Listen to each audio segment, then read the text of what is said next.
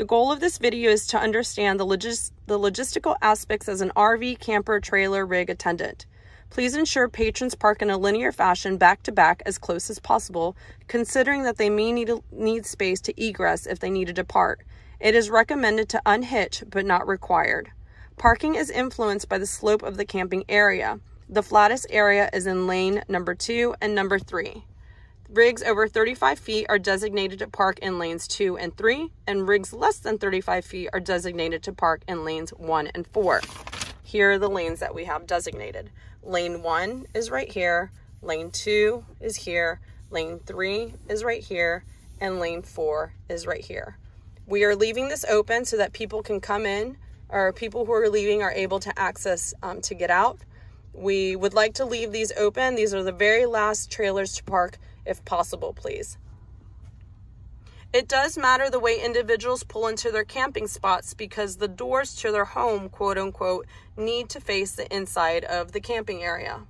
So I've gone ahead and designated this map as north, south, east, and west. For lanes one and three, they can just pull in. So for lanes one and for lanes three, sorry, they need, can just pull in because the doors to their campers need to face on the inside.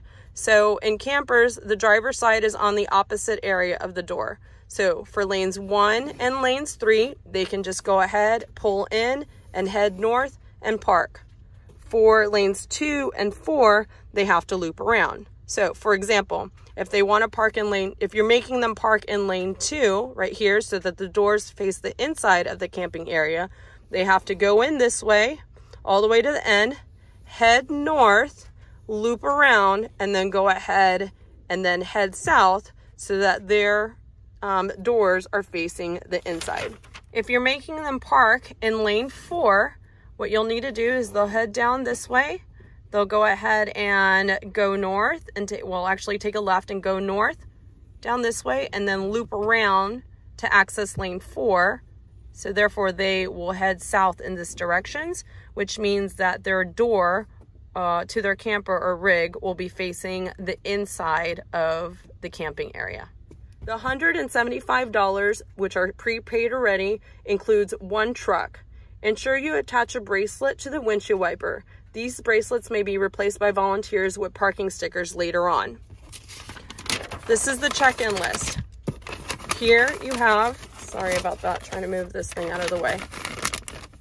So here you have the customer's name, and we've been kind of checking them off as they come in, their rig info, and the size of the rig is designated by the dots on here. So these are all greater than 35 feet.